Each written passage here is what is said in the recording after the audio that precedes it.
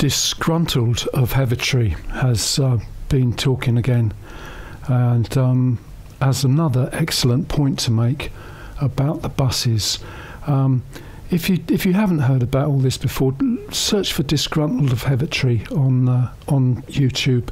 You'll probably find find this. It was also in the in the Express and Echo, and the uh, Devon Live reporting did did um, borrow the the YouTube video, but they did credit it. So um, it, it, it, it is known. So um, briefly, the the problem is the design of the bus stop information is very hard to access if you're not uh, very tall. Uh, because it just goes straight to the top of the poster. There's blank space at the bottom of it if there's only one route, as there is in um, the, the, the bus stop, South Lawn Terrace. Um, but the, the, the, immediate thing we're talking about now, um, because even from Heavitree we do go to the, the Waitrose uh, St Leonard's bus stop, which is sort of out, very, very close to St Luke's. Um, and that that's got, I think I, I, would say just completely wrong information. It still shows the A bus as going to South Lawn Terrace. Uh, yeah, I, I, it does. I've just gone over. I'm, I'm a little way away from the screen at the moment um, because of the microphones at this time. Uh, but uh, that photograph I took yesterday and I've just tweeted it. So it's got one one photograph of of both uh, notices with type bus information, and then a detail of the A bus route shown there, which I, am not sure where it's going. I think it still goes to Alphington, but it's it doesn't go anywhere near South Lawn Terrace.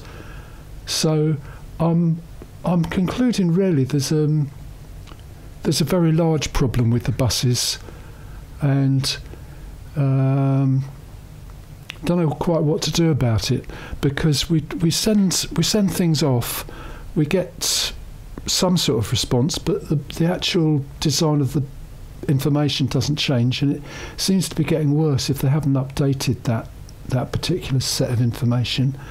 Um, also, we I sent a, I sent an email to someone who'd previously responded um, from Devon County Council, who are ultimately responsible for information on buses.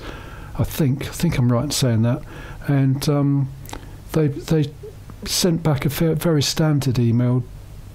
Um, we're very busy, so thank you, but probably we can't respond to everything.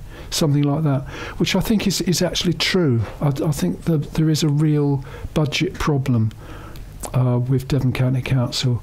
So um, I'll, I'll keep on um, posting to YouTube and social media and so forth.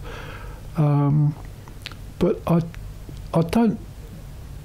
Because you see, on the on the um, on the Echo, when it was reported in print, there was a statement from Stagecoach Southwest which said um, we welcome all feedback and we're trying to communicate and uh, we've we've got we're, we're very pleased with our new system but the design typically their their design puts everything at the top of the page and there's blank space at the bottom of the page. And then when it's placed on the bus stop it's very often so high up um, a lot of people who don't have excellent eyesight or happen to be tall can't can't see it. That's the that's the fundamental point. Um, Exeter City Council do understand this sort of thing. They put their poster for the planning consultation um, at the Heavitree bus stop. In the space you would look at it, it was eye level on top of the blank space in the original design. So Exeter City Council have some understanding of, of what's going on. Um, but I'm not sure any of them understand social media, for example, which could could be a, a cheaper way of communicating if they actually answered um, tweets. I know, I know Twitter's got its problems at the moment, but um, typically, well, from memory, what I what I think happened with my tweets was um, I tweeted to Stagecoach. This this was this is going back a couple of months now. Um, Stagecoach tweeted back it was actually local authorities who were responsible for bus stops. Then Exeter City Council, who I then tweeted, said it's uh, it's actually Devon County Council who are responsible. So, and then uh, Devon County Council suggested I email.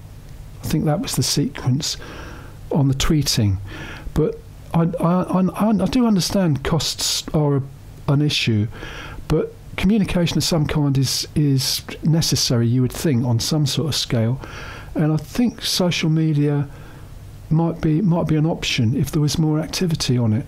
Certainly on um, YouTube, I don't think. Well, it's, it's it's fairly general. Most organisations are not using the the commenting or the channel comments or engaging with the with the, the feedback that they're getting there, and um, I think that's that's uh, possibly a, a something something to develop in the in the in the future. And anyway, I'll I have retweeted this. Um,